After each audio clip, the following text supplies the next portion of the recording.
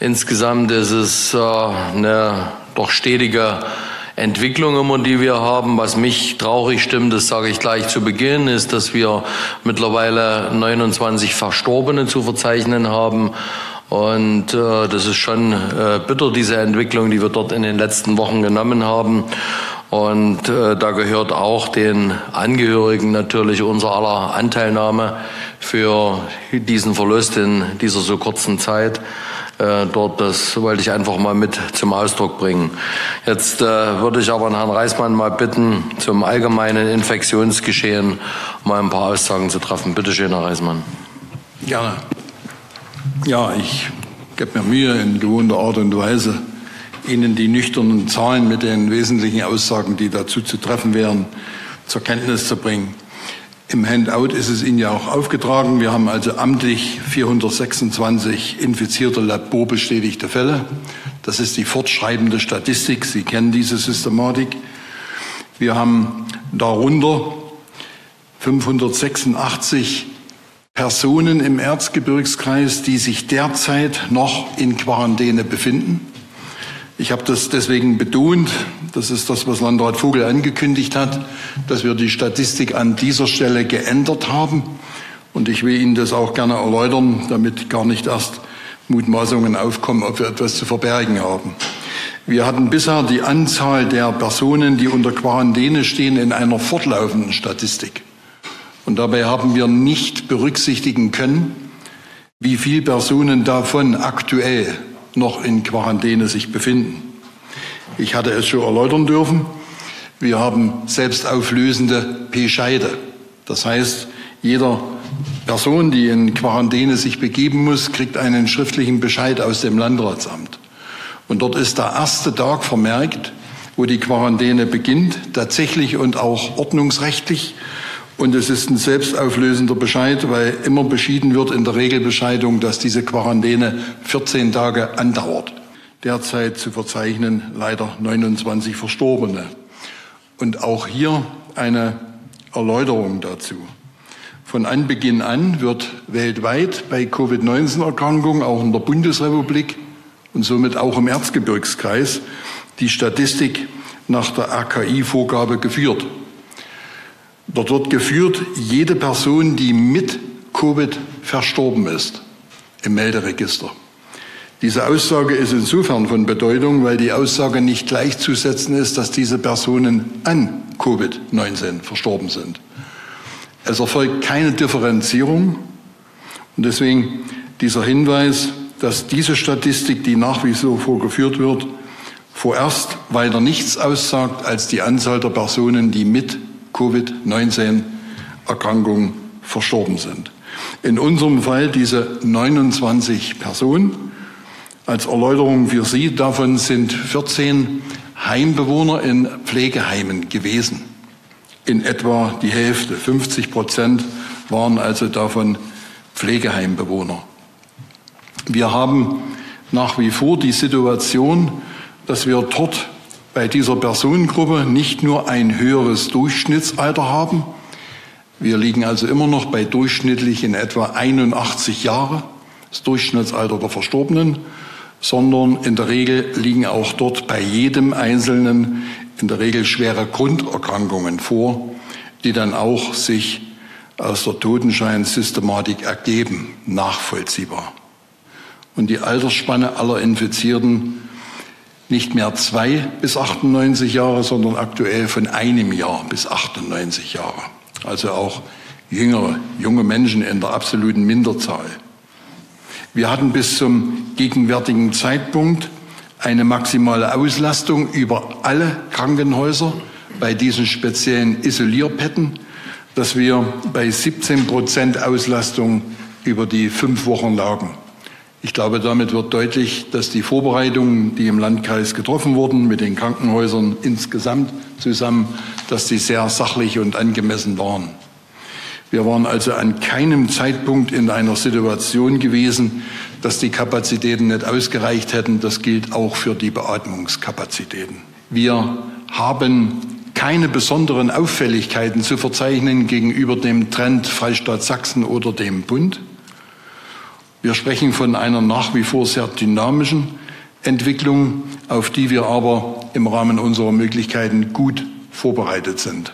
Und insgesamt 14 Verstorbene waren Heimbewohner von 29, also knapp die Hälfte. Und zwölf von den 14 sind Verstorbene in der Einrichtung in Bethlehem Stift in Zwönitz. Die anderen sind Einzelfälle, nicht in Heimen und verteilen sich auf einzelne Orte. Dort haben wir also keine Konzentration, so ähnlich wie in einer Pflegeeinrichtung oder wie Zwönitz. Äh, wir haben in den letzten Tagen insgesamt aus äh, Spenden, die wir gekriegt haben über den Freistaat, einmal über die Firma Bayersdorf, auf der anderen Seite über die Firma FIT, äh, waren also jeweils Lieferungen, die durch das Staatsministerium für Gesundheit und gesellschaftlichen Zusammenhalt organisiert wurden, haben wir insgesamt 24.500 Mund-Nase Bedeckungen oder Schutzmasken, nicht die FFP2-Masken, sage ich ganz deutlich, sondern die einfache äh, Ausfertigung verteilen können und insgesamt auch 2400 äh, Flaschen an Desinfektionsmittel. Das ist schon eine Geschichte, die vorüber vorwiegend in Pflegeeinrichtungen auch gegangen ist und äh, in ambulante Pflegedienste, um dort ein Stück weit zu unterstützen. Und wir haben als Landkreis äh, in erheblichem Maße sind wir dabei, selbst zu beschaffen. Die äh, Lieferbedingungen, sage ich mal, muss man dort natürlich beachten. In der ersten Charge haben wir dort auch ähm, 7.500 äh, Mund-Nase-Masken äh, erhalten und äh, 1500 FFP2 Atemschutzmasken und insgesamt 600 Liter Desinfektionsmittel. Diese Mittel werden wir äh, vorrangig äh, den Gemeinden beziehungsweise den freiwilligen Feuerwehren zur Verfügung stellen. Das ist aus einer gemeinsamen Aktion, die wir mit dem Kreisfeuerwehrverband äh, dort gemacht haben, um dort erstmal auch so eine gewisse Grundausstattung zu schaffen. Und äh, wir sind aber dabei weiter dabei, die Beschaffungen auch in die Zukunft hinein zu tätigen, weil all das, was wir hier, das sind ja Verbrauchsmittel, ne? so eine Maske, die nehme ich und dann vernichte ich die, ich muss die ja wieder ersetzen. Also die Fieberambulanz ist von Montag bis Freitag von 8 bis 11.30 Uhr geöffnet.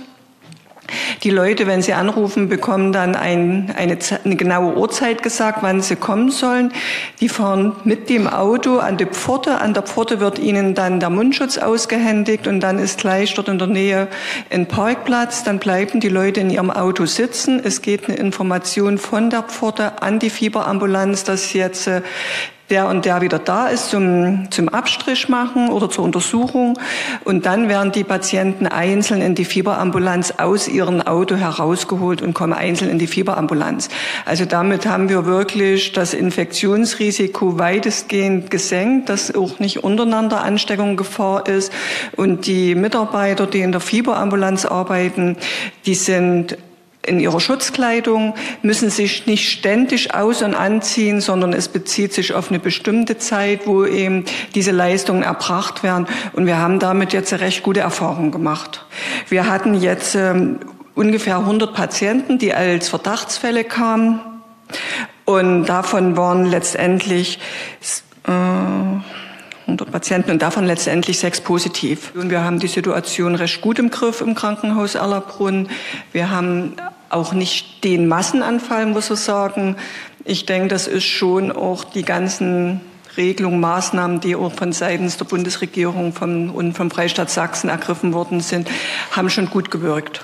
Äh, wie geht es weiter? Äh, der Freistaat hat ja heute schon dazu Presse, entsprechende Pressemitteilungen herausgegeben. Das will ich gar nicht so sehr kommentieren.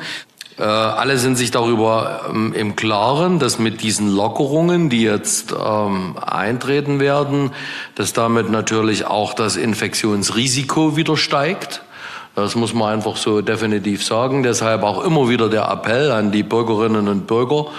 Ähm, Corona ist da, auch wenn draußen die Sonne scheint äh, wenn es schönes äh, Wetter ist, äh, wenn man vielleicht Lust nach etwas anderem hat.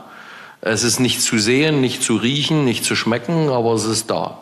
Und insofern sollte man in dieser jetzigen Situation, Corona wird uns sicherlich über lange Zeit noch äh, begleiten, äh, sollte man sich einfach an ein paar Grundregeln der Hygiene, des äh, Umgangs auch halten. Und ich denke, wenn wir das auch in die Zukunft hinein ähm, beachten, in den nächsten Wochen und Monaten beachten, äh, dann wird es äh, gelingen, dass wir diese ganzen aufenthaltsbeschränkenden Maßnahmen, die erlassen wurden, immer weiter auch lockern können und zu einem normalen äh, Tagesablauf auch äh, kommen können. Wir hoffen beispielsweise, dass wir im Bereich des ÖBNV äh, zu einer verpflichtenden Regelung des Tragens von äh, Nase-Mund-Bedeckungen kommen weil wir dort im ÖPNV, im ländlichen Raum vielleicht noch eher, aber im städtischen Verdichtungsraum, also in den Straßenbahnen ist es kaum machbar, das Abstandsgebot von 1,5 Meter nicht einhalten können. Also kann es dann am Ende nur äh, über